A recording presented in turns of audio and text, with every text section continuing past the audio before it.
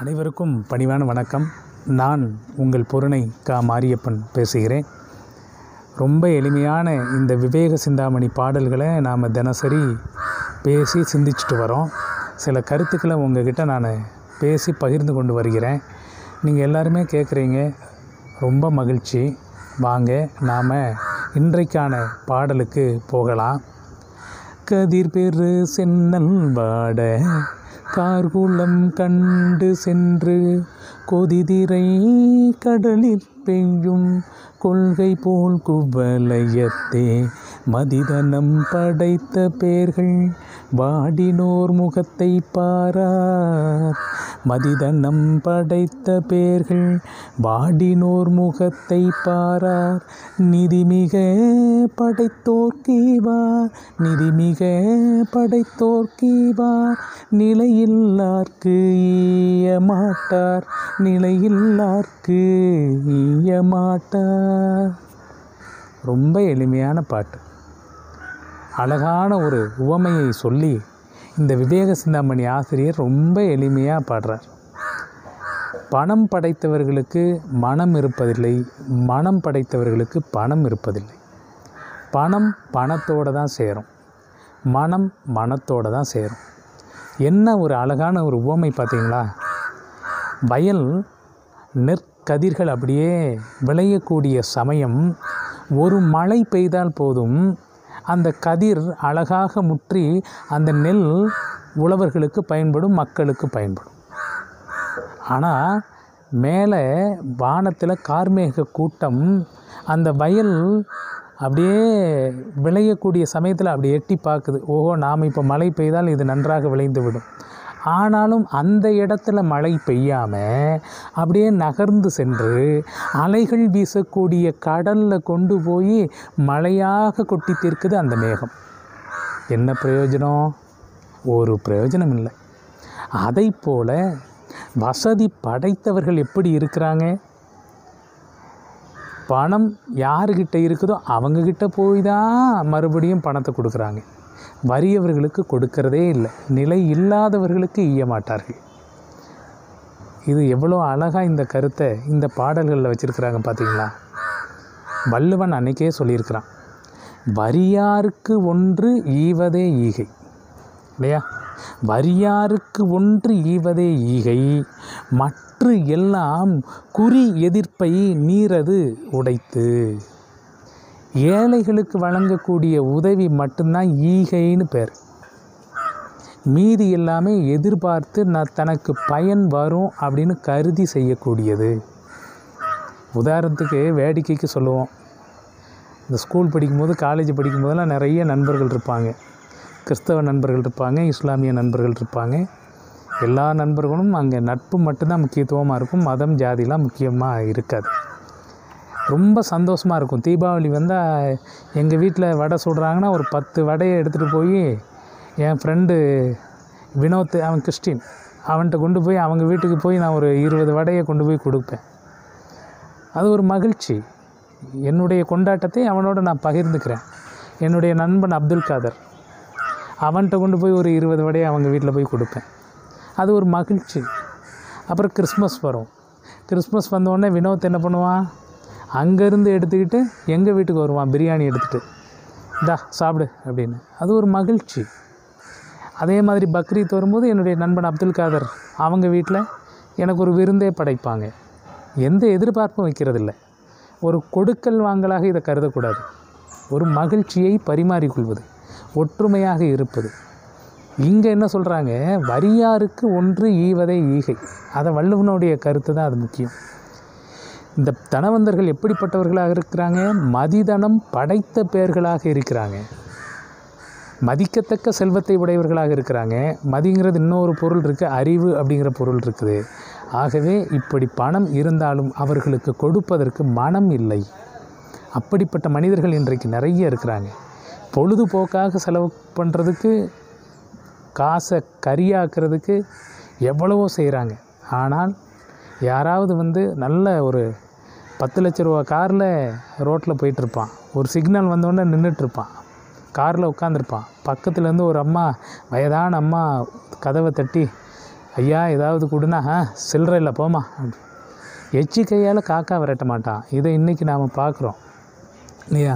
அப்போ மனம் பணம் எது முக்கியம்னா மனசு தான் முக்கியம். பணம் வேணும் ஆனால் அது தகுதியானவர்களுக்கு தேவையான நேரத்தில் உதவி செய்தால் அந்த பணம் நல்ல பணமாக அமையும் என்பதில் எந்த விதமான சந்தேகமும் இல்லை. வாங்க ரெண்டாவது பாட்டு அதற்கு அடுத்த பாட்டு ஆறாவது பாட்டுக்கு போகலாம். ஆலிலை பூவும் காயும் அலிசையும் பழமும் உண்டேன் சாலவே பச்சி எல்லாம் தன் குடி என்று வாழும். ஆலிலை பூவும் காயும் அலிதரும் பழமும் உண்டே. சாலவே பச்சி எல்லாம் தன் குடி என்றே வாழும். வாலிபர் வந்து வந்து தேடி வந்திப்பர். கூடி கூடி ஆலிலையாதியானார் அங்கு வந்திருப்பார் யாரோ? வந்திருப்பாருண்டோ? ஆலிலை பூவும் காயும் மனிதரும் பழமும் உண்டேன். ஆலிலை பூவும் காயும் அலிதரும் பழமும் உண்டேல். சாலவே பச்சி எல்லாம் தன்குடி என்றே வாழும். வாலிபர் வந்து தேடி வாலிபர் வந்து தேடி வந்திப்பர் கோடி கோடி. ஆலிலையாதி போனான் அங்கு வந்திருப்பாருண்டோ? இதுதான் அந்த பாட்டு. ரெண்டு தடவை பாடிட்டேன். ரொம்ப அழகான பாட்டு எனக்கு பிடித்த பாட்டு. இந்த உலகம் எப்படிப்பட்டதுங்கிறத விவேக சிந்தாமணி ஆசிரியர் சொல்கிறாரு பெரிய ஆலமரம். அந்த ஆலமரத்தில் பூ இருக்குது காய் இருக்குது அழகான பழங்கள் இருக்குது. இவையெல்லாம் இருக்கும்போது எல்லா பறவைகளும் ஓடி வந்து அந்த மரத்தில் உட்காந்து இது என்னுடைய வீடு என்னுடைய கூடு அப்படின்னு அங்கே தங்கியிருக்கும். வாலிபர்களும் முதியவர்களும் மற்றவர்கள்லாம் கோடி கோடியாக வந்து அந்த ஆலமரத்துக்கு கீழே உட்கார்ந்து இலைப்பாரி செல்வார்கள். ஆனால் அதே ஆலமரம் ஒரு காலகட்டத்தில் காய் இல்லாமல் பழம் இல்லாமல் இலைகள் உதிர்ந்து காணப்பட்டால் பறவைகள் அங்கு வராது. வாலிபர்களும் முதியவர்கள் வந்து அங்கே அமர முடியாது. அமர மாட்டார்கள். இப்படி ஆகிவிடுகிறது உலகம்.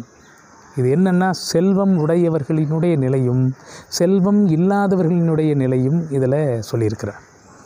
பணம் காசு நிறைய இருந்தால் உறவினர்களும் நண்பர்களும் தெரிந்தவர்களும் பக்கத்து வீட்டுக்காரர்களும் அவர் எனக்கு ரொம்ப வேண்டியவருங்க அப்படின்லாம் பேசுவாங்க.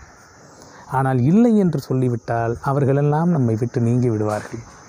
இந்த உலகம் பணத்திற்கே மதிப்பு அளிக்கிறது குணத்திற்கு மதிப்பு தராது. இது இயற்கையாக அமைந்துவிட்டது. ரொம்ப நிறைய இலக்கியங்களில் இந்த பணத்தை பற்றி நாலடியாரில் குசேலா உபாக்கியானத்தில் விவேக சிந்தாமணியில் இன்னும் பல இலக்கியங்களில் இது தொடர்பான செய்திகளெல்லாம் நிறைய திருக்குறளில் இருக்கு. ஆனால் அது எல்லாமே நான் இப்போ சொல்ல போகிறதுல ஒரே ஒரு உதாரணம் சொல்கிறேன் ஈவே ராமசாமி நாயக்கர் மிகப்பெரிய பணக்காரர். அந்த காலத்திலே அவருக்கு மாதம் இருபதாயிரம் ரூபாய் வருமானம் வருவதற்கா வருவதற்கான வழிவகைகள் அவருக்கு அப்பொழுதே உண்டு. அந்த அளவிற்கு செல்வந்தர். இருபத்தி ஒன்பது பதவிகளை அவர் வகித்தார். அதையெல்லாம் விட்டுவிட்டு காங்கிரஸில் போய் சேர்ந்து கதர ஆடைகளை விற்றுக்கொண்டு தெரு தெருவாக போய் ஊர் ஊராக போய் விற்றுக்கொண்டு இருந்தார் அழுக்கு உடை. சுமந்து கொண்டு அந்த மூட்டையை சுமந்து கொண்டு போகிறார் சரி அப்படின்னு ஒரு ஊருக்கு போய் விட்டு விட்டு திரும்ப ரயில்வே ஸ்டேஷன் வரார். அந்த மூடையை சுமந்து கொண்டு எல்லாரும் பேசுகிறாங்க நாயக்கர் வராராம் அப்படி.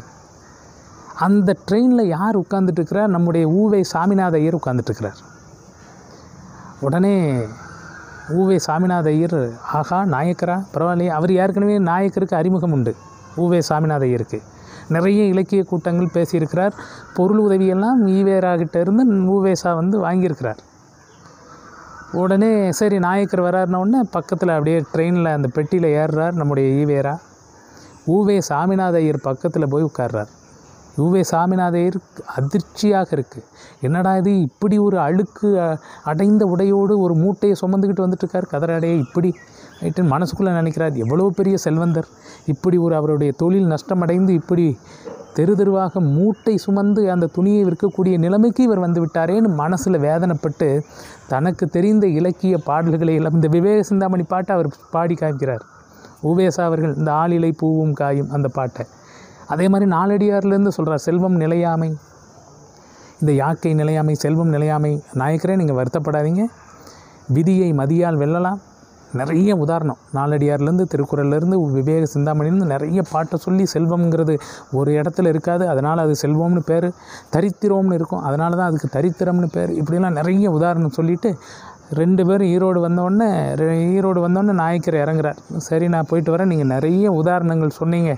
ரொம்ப சந்தோஷம் அப்படின்னு சொல்லிட்டு கிளம்பி வந்துட்டார். உண்மையிலே அவர் தாழ்வான நிலையில் இல்லை. பொருளால் இழப்புலாம் பெரியாருக்கு இல்லை. அப்போ பெரியார் நினைத்தாராம் இந்த உருவத்தை பார்த்தான் இந்த மக்கள் எல்லாம் நம்புகிறார்கள். அழுக்கடைந்த உடை இருந்தால் அவன் ஒரு ஏழை அவன் ஒரு பிச்சைக்காரன் நம்புகிறாங்க நல்ல கோட்டு சூட்லாம் போட்டிருந்தா பெரிய பணக்காரன் கார் வாங்கிட்டு வந்து அப்படி நின்னா அப்படின்னா இப்போ இந்த பசங்கள்லாம் பார்த்தீங்கன்னா இதெல்லாம் அனுபவத்தில் நாம் பார்க்குறோம் நம்ம கல்லூரியில் பல்கலைக்கழக பேராசிரியராக இருக்கிறதுனால இந்த கஞ்சிக்கே வழி இல்லாமல் இருப்பான். பக்கத்தில் ஒரு ஃப்ரெண்டுக்கிட்டேருந்து கடன் வாங்கிட்டு வருவான்.